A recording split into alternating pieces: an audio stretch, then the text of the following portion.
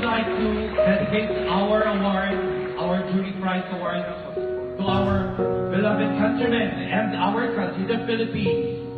Thank you very much.